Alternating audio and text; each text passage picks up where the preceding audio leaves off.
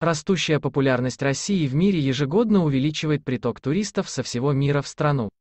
Каждый год приезжает 22-23 миллиона зарубежных гостей. Санкт-Петербург занимает одно из ведущих мест в рейтинге туризма. Количество гостей Северной Венеции увеличивается с каждым годом. Так, в 2017 году город посетили 7,5 миллионов человек. Такой наплыв приезжающих требует дальнейшего развития инфраструктуры, в частности, решения транспортной проблемы. Единственным аэропортом Питера является Пулково. Он располагается в 15 километрах от центра города. В 2017 году по количеству перевезенных пассажиров занял четвертое место после Внуково, Шереметьево и Домодедово в Москве.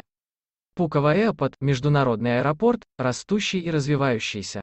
С 2015 года вступил в строй новый аэровокзал, заменивший старое здание 1973 года постройки. Но на этом планы модернизации не заканчиваются. О создании нового транспортного сообщения между центром города и Пулково начали говорить еще в 2011 году. Планировалось создание железнодорожной линии между аэропортом и центром города. Но в 2015-2016 годах не произошел ожидаемый рост пассажиропотока, и проект Аэроэкспресса Пулково, Санкт-Петербург приостановили. Ситуация поменялась, и в 2017 году правительство Санкт-Петербурга снова рассматривало проект возведения линии Аэроэкспресса СПБ. Теперь хотят проложить путь от Витебского вокзала, а не от Балтийского, как планировали раньше. Во-первых, это проще осуществить технически. А во-вторых, преимущество Витебского перед Балтийским вокзалом в том, что он находится ближе к центру города и соединен с пересадочной станцией метро Пушкинская, Звенигородская. С Витебского вокзала отправляются не только пригородные электрички, но и поезда дальнего следования. Власти города подписали соглашение о реализации программы в мае 2018 года.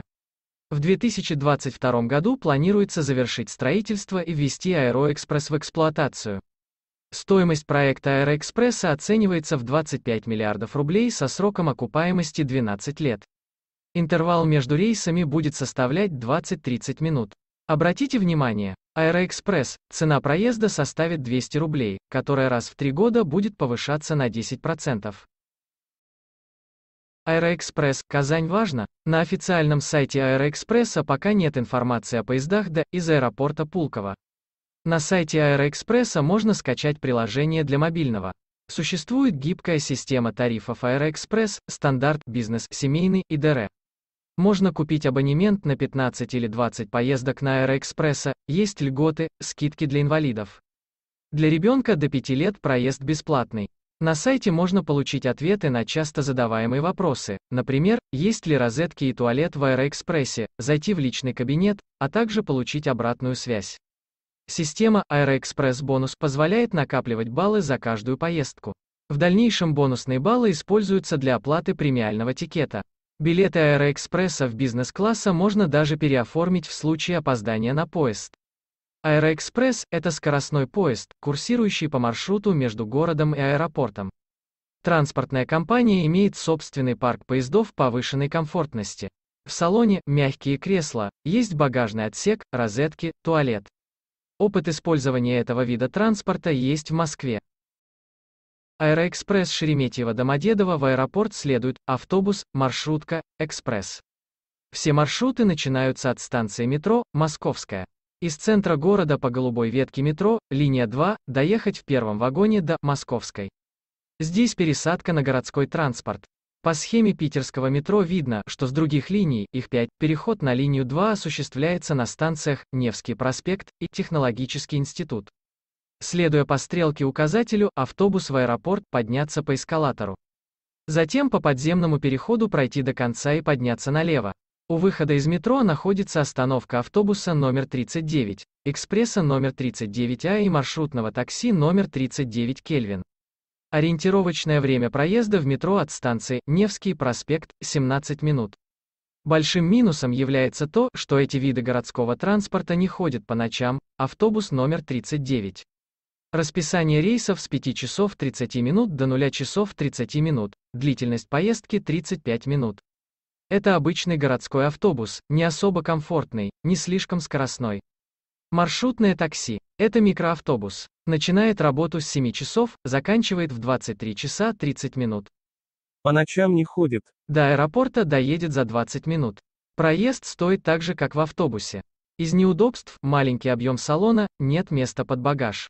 Экспресс номер 39А. Единственное отличие от обычного автобуса – то, что он следует без остановок. Экспресс удобнее маршрутки, так как на площадках есть место для багажа. Расписание движения с 5 часов 30 минут до 0 часов 30 минут. Время на дорогу 20 минут. Важно, стоимость проезда в каждом виде транспорта из этой тройки 40 рублей. Городской транспорт будет удобен для пассажиров без маленьких детей, без тяжелого багажа. Очень помогает знание города. При путешествии с детьми, тяжелыми чемоданами, если в городе впервые, лучше воспользоваться услугами такси или заказать трансфер.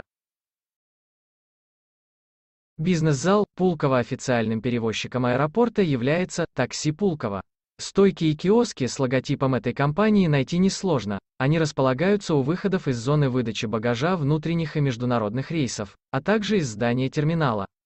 Администраторы компании ответят на любые вопросы о трансфере, при необходимости проводят к машине.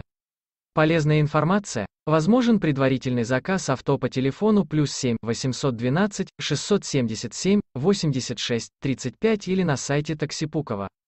Автопарк составляют автомобили всех классов – эконом, комфорт, бизнес-класс, минивэн, лоу-кост, VIP. Лоу-кост и эконом-класс – это бюджетный вариант для спешащих пассажиров.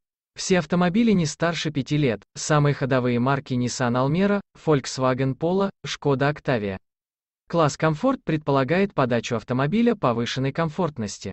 Такие как Ford Mondeo, Mazda 6, Toyota Camry, Volkswagen Passat. Бизнес-класс – это автомобили представительского уровня для клиентов, которым важен не только комфорт во время поездки, но и статус. Это Mercedes E200, Audi A6. К оснащению авто добавлены роскошный салон, бесплатный Wi-Fi, свежая пресса, автоматический климат-контроль, питьевая вода в салоне. Минивэн перевезет до 8 человек в салоне и крупногабаритный багаж, включая спортивное снаряжение. Подойдет для большой компании путешественников.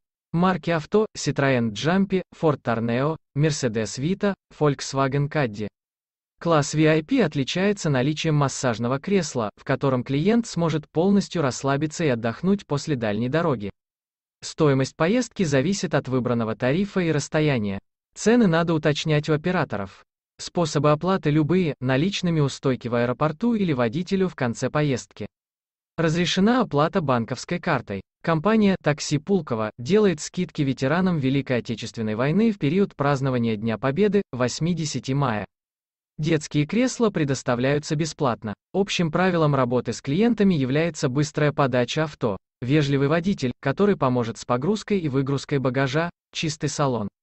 Обратите внимание, при необходимости шофер встретит клиента в аэропорту с табличкой Указанная компания не единственная в Питере, кто осуществляет трансфер. Более дешевые варианты такси, таксовичков, таксовичков. Такси 777, 777 такси. Таксинобус, таксибонус. Ранее аэроэкспрессы запускали во Владивостоке в 2012 году, в Казани в 2013 году, в Сочи в 2014 году. Но региональные власти не хотели компенсировать затраты операторов на пригородные перевозки. Из-за убытков аэроэкспрессы ушли из этих городов. На сегодняшний день в их аэропорты ходят обычные электрички. Интересно, приживется ли опыт Москвы в северной столице? Звездочка указанные цены актуальны на октябрь 2018 года.